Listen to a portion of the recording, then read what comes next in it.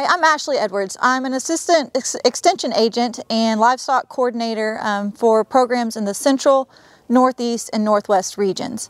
Today we're going to talk a little bit about considerations for breeding your replacement beef heifers. Now, this is something that producers seem to fret over and they kind of worry about each year. We know that on average, Louisiana producers replace about 5% of their herd annually. So despite this constant turnover of females, we get calls all the time about producers wanting to know when and if they should go ahead and breed their replacement females. So today we're going to go over just a few of those little um, kind of rules of thumbs that are going to talk about this. The first one and the, the main one that we get asked a lot about is what age do I breed my heifers at? And we know through decades of data from numerous institutions across the United States that if we can get these heifers to go ahead and calve um, for the first time at two years of age, we see a lifetime of increased productivity, including more pounds of calf. However, despite these numbers, our producers are still a little anxious, and that's a very valid worry or concern. We are asking these heifers to not only continue to grow themselves into their mature size, but also to work on being bred, having a calf, calving, getting back to a status that can support that calf again, and then on top of that, also uh, rebreeding for that second time. So it is a lot to ask of these females. Okay, so let's talk a little bit more about age, and we're gonna back it up and we're gonna talk about age at puberty. So if we're aiming for 24 months at calving, we need to start breeding them about 15 months of age. They should have already hit puberty by this point and you're hoping that they have gone through a couple of cycles. Now I do want to point out that I realize your purebred Brahmans are probably not going to hit that 24 month calving goal um, and maybe even some of your Brahman influence that might be tough for them. But what I'm talking about are, are um, even our eared cattle that have a little bit less Brahman in them, but our commercial operations here, um, and then your Bos Taurus breeds that you also have here in Louisiana. So behind me, we have a, a commercial herd that is a Brangus-based herd. You can see there's probably some Charolais in there as well. Um, but these ladies are ready to go. Um, they're at breed them in the upcoming weeks. So how do you know if they have hit puberty or not? There's a couple of things that you can do. The first and probably the simplest is just to start monitoring estrus behavior. So are they riding each other? Are they standing still while a heifer is riding them? You can even place Estrotect patches or some other estrus detection aid, aid on them um, to watch and, and to help you monitor that. The other thing that you can do and we recommend is to have a veterinarian come out and palpate and assess reproductive tract scores. So your reproductive tract scores, they are going to be palpating the uterus to feel the tone of it. They're going to palpate the ovaries and they're going to assess what's going on in the ovaries in terms of follicle development and maybe even corpus luteum development. They'll assign a score of one to five.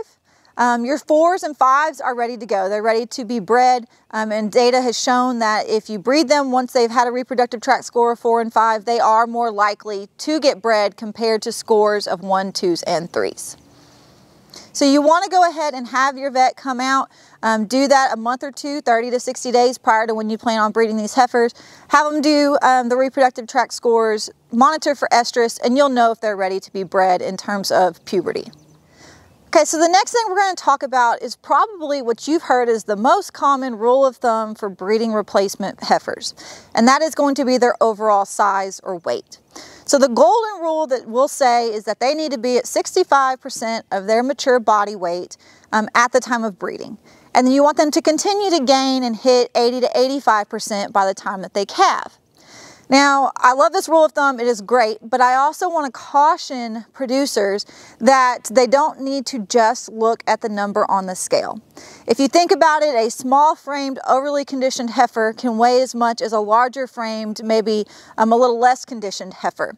So you have to take into account weight, condition, and body size. So it's easy for you to go and look on the scale and to look um, at their frame size and everything else.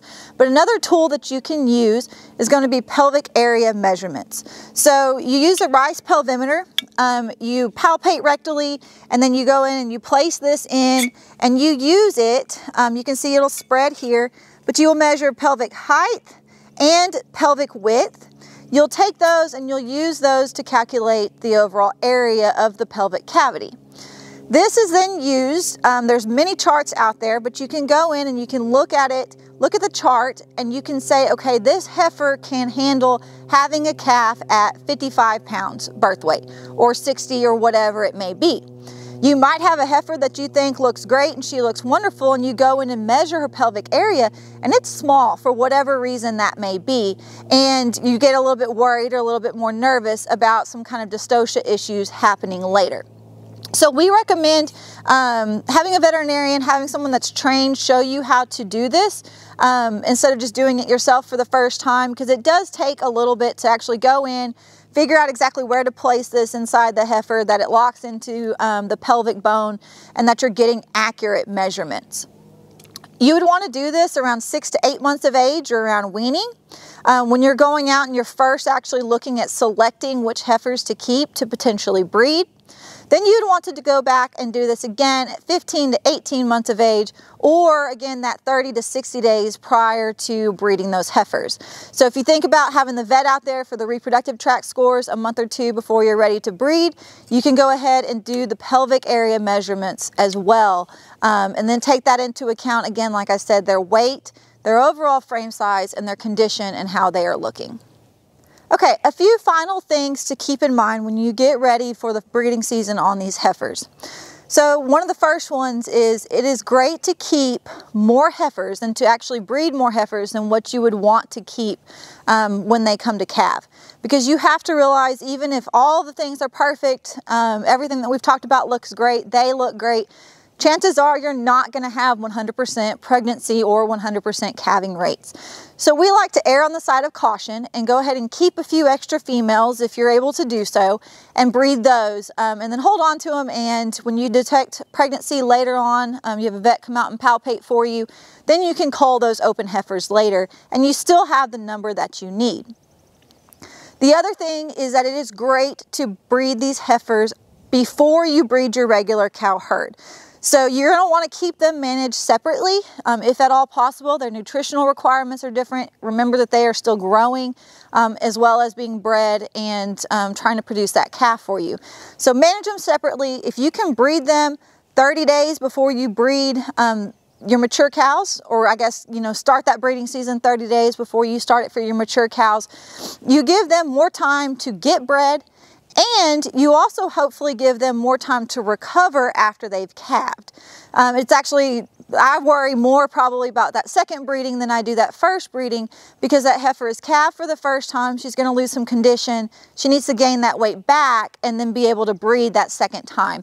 Um, so you're giving more, more chance um, for them to recover, for them to put condition on if you breed them earlier than you do your mature cow herd. We've talked a lot today about um, actual development and assessing them when you are ready to breed them or a couple months prior to breeding.